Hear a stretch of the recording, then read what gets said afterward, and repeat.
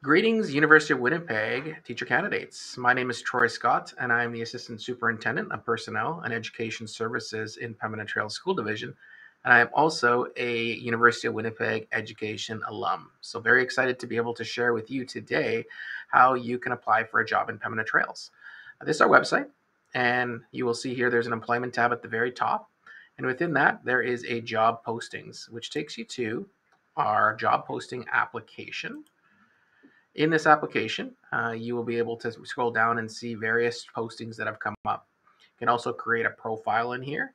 Uh, but what is what will happen as of March the 1st is there will be a graduating teacher candidate substitute listing that will go up.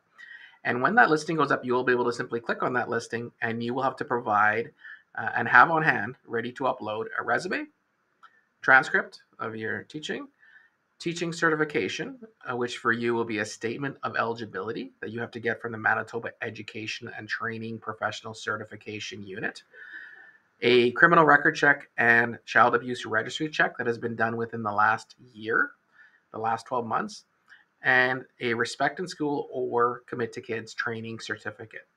So you need to have all of these things on hand before you apply to that posting, which will again go up on March the 1st in a few months. So you can get going on those, gathering all those pieces up now uh, so that they're ready to go. And basically, if you're able to get everything in before spring break, you will likely be in a position to be able to sub for us the day after you are done your practicums in April. That's simply all you need to do. If you have any questions, uh, there will be information that will allow you to reach out to me. Uh, I look forward to uh, seeing you hopefully in person at some point this year and I wish you all the best in your last couple months at the wonderful University of Winnipeg. Take care, everybody.